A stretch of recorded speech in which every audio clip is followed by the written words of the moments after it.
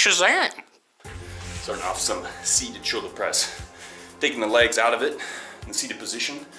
And uh, just pretty much treat it like a normal shoulder press where keep the elbows a little bit tighter, press straight up, kind of push the head through the top position, elevate the traps at the very top to help contract the trapezius muscles, stabilize, stabilize the movement, and then bring it down to the bottom position. And as you can see, doing shirtless to prove that there's no bodysuit involved in this workout.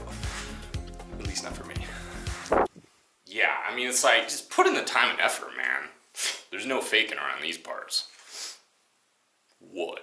Moving on to the dumbbell upright rows, we're gonna be doing four sets of 12 reps supersetted with 30 seconds of steering wheels. Now with the upright rows, some people can find there's a little bit of impingement in their shoulders when performing this exercise, typically with barbell upright rows. So that's why we're using dumbbells. You can find the range of motion which works for you.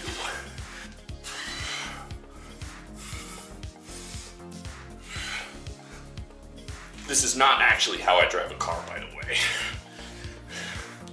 Well, it's how I drove a car. I imagined driving a car when I was about five But uh, great shoulder exercise, especially a burnout, superset. After those upright dumbbell rows, you're really gonna feel it. Yeah.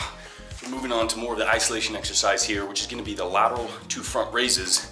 You're gonna be bringing the dumbbells laterally first, rotating to the front, bring them down, and then go into a front raise, rotating to the lateral, and then bring them down. So we're gonna see it in action here.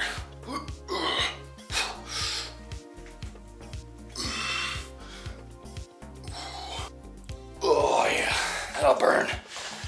So hitting those lateral portion, the anterior portion, the front, a little bit in the rear too, because once you bring it up and rotate back through here, you can see it's gonna activate those posterior delts and stabilize that motion. So it's a damn good delt. Burn out.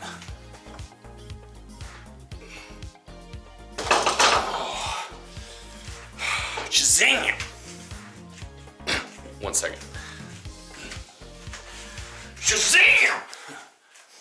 This cost Warner Brothers 50000 Next exercise is gonna be another uh, multifaceted um, kind of movement, much like the lateral to front raise, we're pairing up two movements together. This one is gonna be an Arnold press right into a French press. So we're working the shoulders right along with the triceps. The good thing about these exercises, when you're talking about any kind of pressing motion, especially with the shoulder or even the chest, is the triceps can be a secondary muscle group anyways. So it's already kind of working, it's already warmed up, it's already ready to go, there's blood in there. And uh, we're now going to really isolate the triceps with the French press at the end of the movement here. So in a seated position, much like the seated press in the beginning, we're taking the legs out of the equation. Core still has to be tight. And you're starting with the palms facing you. You're gonna press and rotate, not all the way, so that way thumbs are facing back. Once you reach top position, you can bring the dumbbells behind you, bending at the elbows, and then you're gonna go ahead and extend up, and then bring it back down.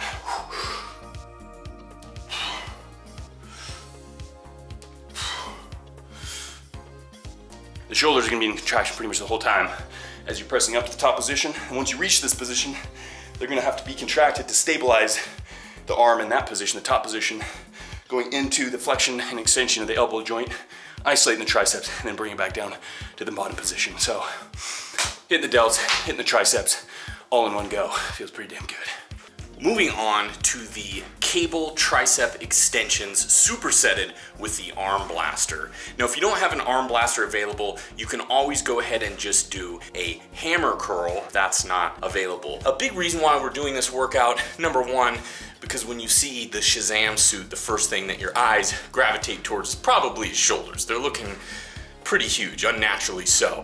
And that's the same with a lot of superheroes. You're gonna notice their arms and their shoulders right off the bat.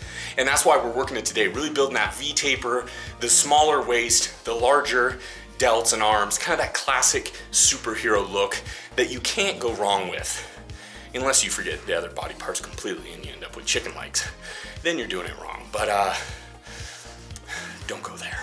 The last tricep exercise, and it's gonna be a compound movement-ish, which is gonna be the cross bench tricep dips. Good thing about this, the angle of the arms is going to help isolate the triceps. So chest might be involved a little bit along with the shoulders, but primarily it's gonna be the triceps. And we're gonna use a bit of a weight here. 45 pounds just placed right in the lap. You're gonna elevate your feet and get to this position. You're gonna bring yourself down just like so, and then you're gonna extend up and squeeze. So the shoulder joint, as well as the elbow joint, is involved in the motion, although the primary movement is really focusing on the extension and flexion of the elbow joint. But you'll feel a little bit in the chest, in the shoulders, but you really wanna get that full squeeze, at the top position, to really hit those triceps.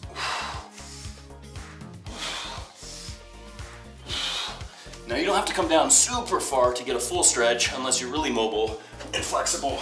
So you can come down just about here. So the upper and lower arm is about a 90 degree angle. Extend from there and get a good squeeze.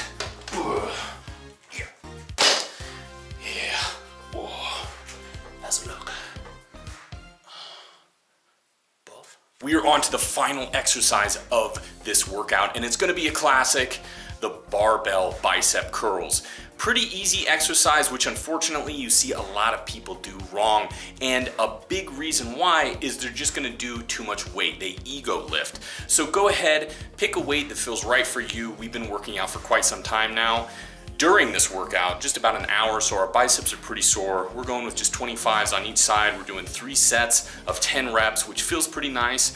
What you wanna try to do is keep those elbows locked into place for the duration of this exercise so you're really just focusing on that sweet, sweet bicep pump. There we go, that ends the Shazam shoulders, triceps, and biceps workout. You probably wanna perform this at least once a week. Try to stay consistent. You know, it really takes the dedication, the drive, the consistency, the hard work, and uh, the proper nutrition. You know, there's no shortcuts when it comes to these type of workouts. You know, it's gonna it's gonna take years to try to build a body like a superhero. You know, there's just there's just no